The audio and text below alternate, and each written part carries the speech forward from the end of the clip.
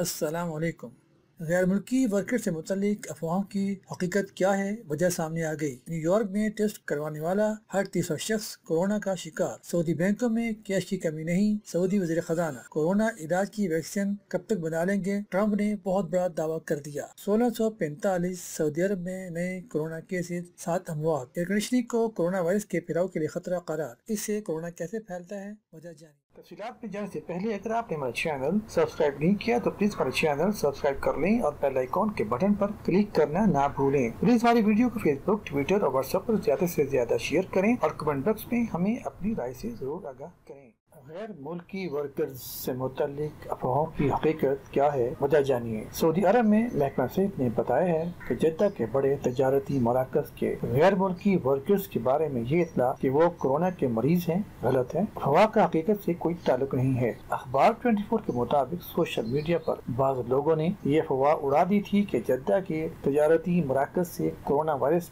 में मुबतला गैर मुल्की वर्कर्स पकड़े गए हैं। इस अफवाह से मकामी शहरियों और मुकीम गैर मुल्कों की हलकों में तशवीश पाई जाती थी। महकमा सैद जद्दा ने बयान जारी करके इतमान दिला दिया कि गैर मुल्की कारकुनान के बारे में ये इतला कि वो कोरोना के मरीज़ गलत है। हकीकत से इसका कोई ताल्लुक नहीं है। सोशल मीडिया पर इस हवाले से जो बातें गर्दिश कर रही हैं, वो मन घड़त हैं। महकमा सैद जद्दा ने सऊदी शहरियों और मुकीम गैर मुल्कियों से कहा है कि वो अफवाहों पर कान न धरें और सेहत से मुतलिक हर खबर महकमा सेहत के जराये से हासिल करें। वाजह है की सऊदी कानून के तहत अफवाह फैलाने पर पाँच बरस कैद और तीस लाख रियाल जुर्माने की सजा दी जा सकती है। पब्लिक प्रोसिक्यूशन के मुताबिक अफवाह साजी और मन घड़त खबरें देने से मुल्क निज़ाम को नुकसान पहुँचता है। अफवाहें और झूठी खबरें फैलाना जुर्म है।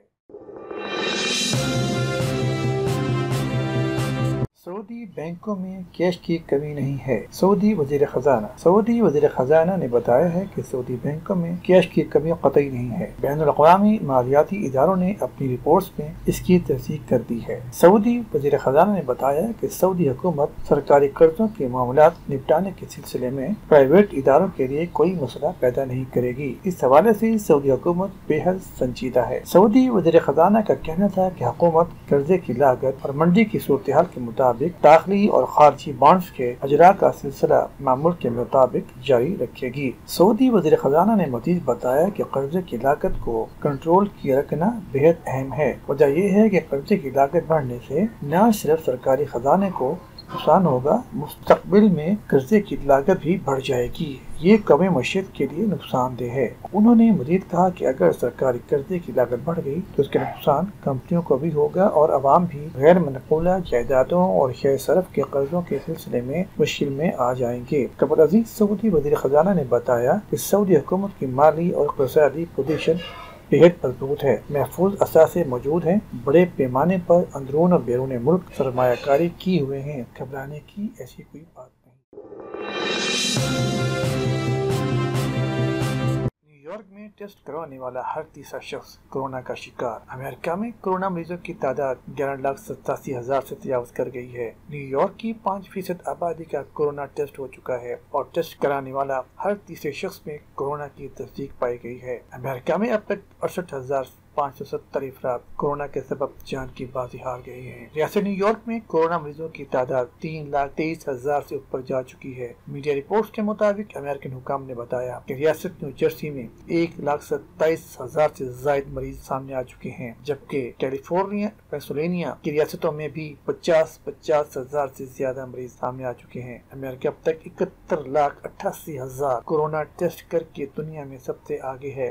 मगर ये तादाद भी अमेरिकन आबादी का सिर्फ़ दो फ़ीसद बनती है। रियासत न्यूयॉर्क की पाँच फ़ीसद आबादी का कोरोना टेस्ट हो चुका है और टेस्ट कराने वाले हर शख्स में कोरोना की तस्दीक पाई गई है। पैंतालीस नए कोरोना केसेस और सात अमवात की तस्दीक। वजारत सेहत के तर्जमान ने पीर को प्रेस ब्रीफिंग के दौरान बताया कि रिपोर्ट होने वाले नए केसेस के बाद मौलिक वारिस में मुबतला मरीजों की मजमू तादाद बढ़कर अट्ठाईस हज़ार छः सौ छप्पन तक पहुँच चुकी है। तर्जुमान ने ब्रीफिंग में बताया कि पिछले चौबीस घंटे में तीन सौ बयालीस अफराद सेहतियाब हुए। अब तक चार हज़ार चार सौ छिहत्तर अफराद सेहतियाब हो चुके हैं। वजारत सेहत की जानब से जारी इदार शुमार के मुताबिक पीर को सबसे ज़्यादा मरीजों की मक्का में तस्दीक हुई, जिनकी तादाद दो सौ सतासी थी। रियाद में एक सौ इकतीस यदा दो सौ इकसठ अलजुबेल दो सौ सत्रह। मदीना एक सौ बावन तमाम दो सौ इकसठ तमाम दो सौ इकसठ, बीस तिरपन, सफवा तेरह, अलखबर छब्बीस, ताइफ चौदह, अलदरिया पाँच अलफूफ एक सौ तैंतीस, अलमजादरा छः, अलजुल्फ़ी पाँच, अलखरज चार यम्बो नौ, अलकरियात सात तबुक चार, सोहरान चार, अरर चार, कतीफ तीन और बरीदा में नए मरीज़ सामने आए हैं।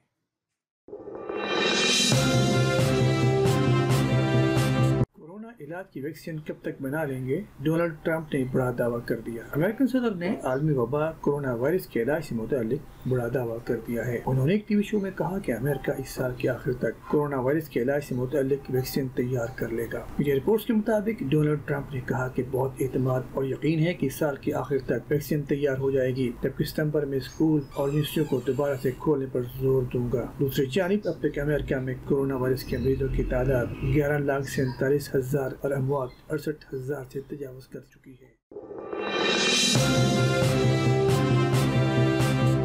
कंडीशनिंग को कोरोना वायरस के फैलाव के लिए खतरा करार। इससे कोरोना कैसे फैलता है? अमेरिकन माहरीन ने चौंका देने वाले इंकशाफात कर दिए। अमेरिकी journal Center for Disease Control and Research में शाये होने वाली एक चीनी तहकीक में इस बात की निशानदेही की गई है कि ऐसी बंद जगह में जहाँ हवा का गुजर न हो, वहाँ कोरोना के मुमकिन मुतासर मरीज़ से बुखारात के ज़रिए वायरस के दूसरे अफराद में मुंतकली का खतरा बढ़ जाता है। क्या एयर कंडीशनिंग से कोरोना वायरस फैल सकता है? अमरीकी journal Center for Disease Control and Research में शाये होने वाली चीनी तहकीक में कहा गया है कि फरवरी के महीने में चीन के शहर गवांगजो में एक रेस्तोरान में खाना खाने वाले तीन खानदानों के दस अफराद में से नौ को कोरोना वायरस का शिकार हो गए। एयर कंडीशनिंग के ज़रिए कोरोना वायरस के बुखार दुखान से सफ़र करके वापस लौटने वाले खानदान के मुतासर शख्स से दूसरों में मुंतकिल हुए। तहकीक में रेस्तोरान में हवा के गुजर को बेहतर बनाने, टेबल्स के दरमियान फासला बढ़ाने की हदायत की गई है। यह सवाल ये पैदा होता है, क्या जिम स्टोर रेस्तोरान में एयर कंडीशनिंग पर पाबंदी लगा देनी चाहिए? माहरीन का कहना है की कमर्शियल बिल्डिंग में ताज़ा हवा को वेंटिलेशन के लिए इस्तेमाल करना चाहिए। American Society for Heating Refrigeration and Air Conditioning ने गर्मियों में ए सी बंद करने की तजवीज की मुखालफत की है। कहना है कि ऐसे में पैदा होने वाली हिद्दत में लोगों को थर्मल स्ट्रेस का खतरा है, जिससे वायरस से लड़ने की सलाहियत मुतासर होगी। दूसरी जानब यूरोपी इंजीनियर्स ने एसी के ज़रिए वेंटिलेशन के लिए ताज़ा हवा फेंकने की तजवीज़ दी है। अमेरिका यूनिवर्सिटी ऑफ़ ओरेगन और कैलिफ़ोर्निया ने तहकीक में खिड़कियाँ खोलने की तजवीज़ दी है, या फिर ऐसा एसी इस्तेमाल किया जाए जो इस्तेमाल की हुई हवा को बार बार फेंकने के बजाय ताज़ा हवा को कमरे में फेंके। अमेरिकन खबर साइंस इदारे बिज़नेस इंसाइडर्स के मुताबिक न्यूयॉर्क की चंद इमारतों को फौरी तौर पर एयर कंडीशनिंग बंद करने की हिदायत जारी कर दी गई हैं, जिसमें जिम पोल कॉन्फ्रेंस सेंटर शामिल है। यूरोप की हेल्थ डिपार्टमेंट का कहना है कि एयर कंडीशनिंग से कोरोना वायरस के फैलाव का खतरा इंतहाई कम है। इसी जगहों में सबसे बेहतर हमत अमली फासला बरकरार रखना है।